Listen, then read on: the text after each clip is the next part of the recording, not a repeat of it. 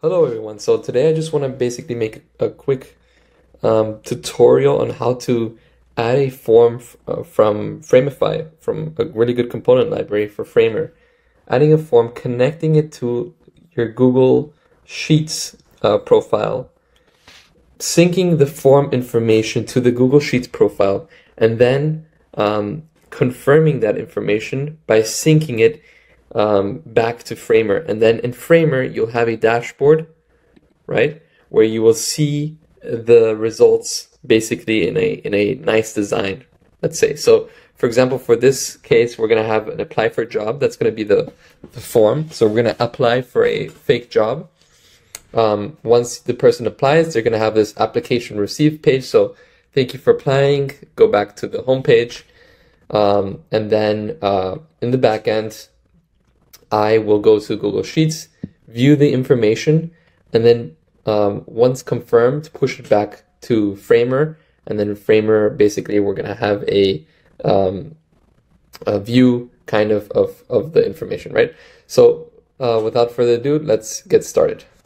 So the first thing that I want to do is I want to go to the layers and I want to make sure that the contact form is highlighted. And I want to click here to send to. So before I actually do that, I want to show you where I got this. So basically, if we were to go to framify.design and we were to go to, uh, if we were to search for form, sorry, not form, but um, contact, um, we can choose one of our, our uh, these components. There's a bunch of other designs, but I chose this one. I really liked it. And um, it's really cool because we can edit the different inputs we can, for example, desired location Amsterdam, Barcelona, but we can add more, and um, and it works really quickly. So that's just that. Uh, link to this to this Framify is in the description, by the way. So for, first of all, we want to get this contact form. We want to um, click Add to Google Sheets, and um, I want to go to to the Google Sheets. I want to basically add the information. So I want to add the the fallback to my Google Sheets. Um, actually, first we want to add a form um, from my Google Sheets. So you want to add the, uh, it's going to be called, uh, what should we call it? We should call it application received create. And then the, this is like my email that I'm using. And boom. So basically, once we publish this and we go to this specific website, we can just put in some Lulu and my email is re relyonyou.com. Desired location Amsterdam, of course. Uh, subject, whatever. I am the man for the job, period and then submit. And then it takes me to this application received page, right? And you can here just put whatever you want. For the sake of this video, it's not so important, but you can just get some Framify components and add, add some nice design, right?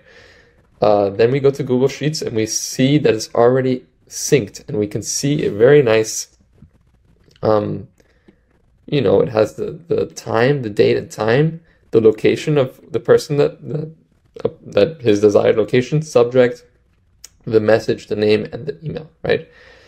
So that that part was very easy, um, and it's really cool that we can actually bring this to to Google Sheets. So that's one thing. Now our next goal is to basically get this information and sync it back to uh, to our Framer website. So let's say like five different people apply, right? If I were to, for example, go back refresh and write um, UU and write UU at lemon.com and Barcelona and say, I don't know, I don't know, you suck, right? You don't want to have them in your in your uh, dashboard, right? Because they were kind of mean.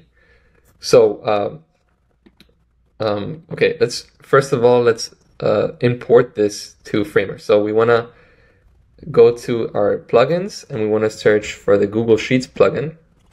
And we want to call this uh, applications plugin. Applications. So we click, click, uh, click create and um, we copy the URL of this specific um, sheet and we choose sheet one because that is it is sheet one as you see here and next and then you want to import sheet one right? So um, we have this sheet but we don't like this. We can either delete it directly from here and we can sync the information and then it syncs right? So we have Lulu but UU is not there. And we can just you know refresh and uh, or, or, go back and refresh and then it's there again. So that's the, the cool part of syncing. Um, let me delete this because we're not using it now, but that's the cool part of the Google Sheets uh, uh, plugin, right? It, you can bring it from Google Sheets back to Framer. And what's cool is that we can create a dashboard, right? So if we were to just, for example, go to collections, right, over here, applications. We can bring our applications here and we can style our applications. So if we were to make the width of our page fit the content as we always do, and we want this, we want our applications to be in a stack. And our stack, we want to have the viewport as the height, right? Um, let's make this, for example, fill width. And then we can edit the content. So we can add the date that they applied, the their name and their position, for example, now. So let's put their name, actually let's put their name like this, name, position. And then we can obviously go like this, and we can make this like this. So we have two applications right now. So we want to um, replace this date. We want to remove this and we want to add the content set variable to, this is the name, so their name, Lulu and Yuyu. Position, we want to remove this and set variable to, variable to, um, what was it? It was message name subject. No, not the subject, my bad. It was, yeah, whatever. We can just use the subject for now. And then, for example, date, we can remove that and we can put the, the message, for example, here, message. And this, for example, can be a protected page where you can sell to um, companies as a job platform where you can create a custom login, not custom login, a custom form. It goes to Google Sheets and then that uh, kind of links to your CMS and um, the job uh, or the or the person from the business that's looking for employers can refresh and can see a dashboard of applicants and respond like that, right? So it's it's a beginning beginning of something interesting. So we can delete this. We can set the variable to message, and as you can see, this is like kind of we have to put the width fill. Well, we can do it like that. And obviously the, the styling kind of sucks, but you can, you know, with a little bit of design knowledge, you can create a um, bit of padding on the side. You can add a border. Uh, you can add a radius to the border. You can create it to the, you can add it to the left side. So start.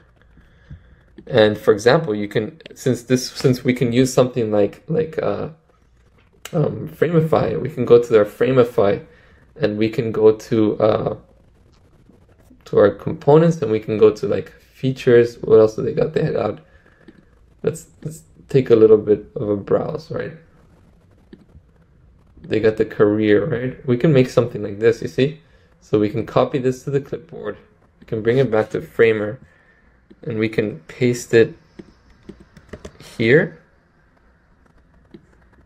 obviously above this section and we want to make this fill and we want to just detach how do that. Oh yeah let's double click on link and replace all. And then we want to make one of these cards um, basically the the design of this of the information that is being put in. So let's detach this. And let's bring one of these cards here to this stack. And let's bring it here. So we have this in here. Let's remove this border and the and the radius and the padding for now. Let's remove this padding. And now we can basically get the information from here and set the variable to the name, set this variable to the contents of the message, and then we can set this, for example, we can put this as the content of the location, and this can be the subject, for example. Uh, subject. And this can be their email, right? Because we want the, the person to view this dashboard to have a good um, understanding, right? Of a good overview, I mean. So we can delete this, uh, we can keep this container, we can delete, we can delete these cards, we can delete this thing, and we can put this stack kind of in the same place. And voila, we have our um, applied candidates. Um,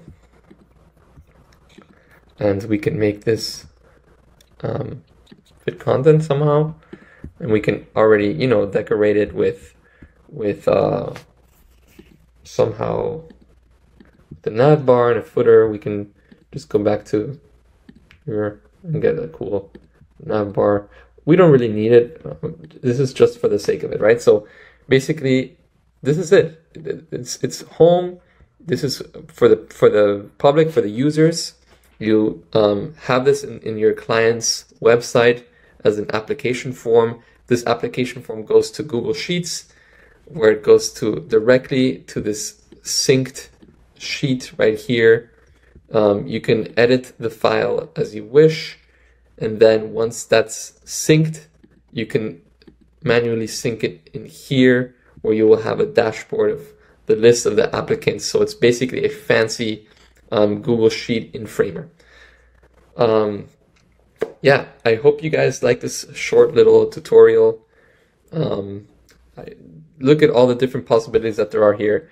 Even with this, for example, we can um, use dynamic C CMS from Google Sheets uh, to populate certain areas of, of, of these designs.